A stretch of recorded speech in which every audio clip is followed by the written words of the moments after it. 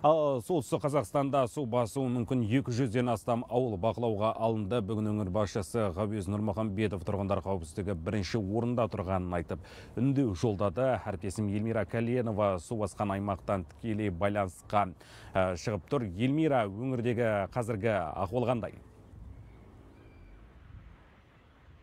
қайырлы кеш шерхан біз есіл ауданының орталығы явленка ауылынан тікелей эфирге шығып тұрмыз. Себебі су басқан аймақта интернет байланысы нашар.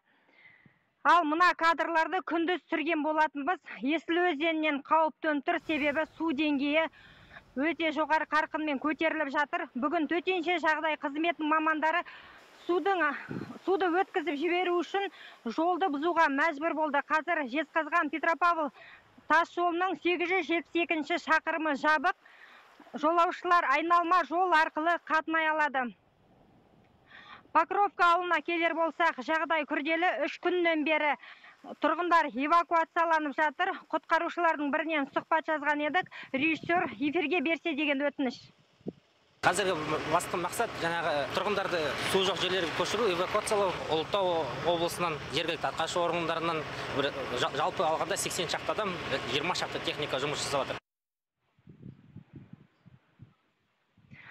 Соңғы мәлімет бойынша облыста жеті елді мекенге жетпіс алты үйге су кірген. Қазір петровка покровка және николаевка ауылдарында жағдай күрделі. Синоптиктердің болжамынша топан су демалысқа дейін петропавл қаласына жетеді. Қазір облыс орталығында күндіз түні тасқынға дайындық жүріп жатыр. Қалада төтенше жағдай жарияланды. Сонымен қатар тайынша есіл және қызылжар аудандарында да төтенше жағдай енгізілді. Шерхан? Рахмет Елмира ақпарат күтеміз. Бізбен солтүстік Қазақстан облысына тікелей байланыста болған әріптесім Елмира Кәленова.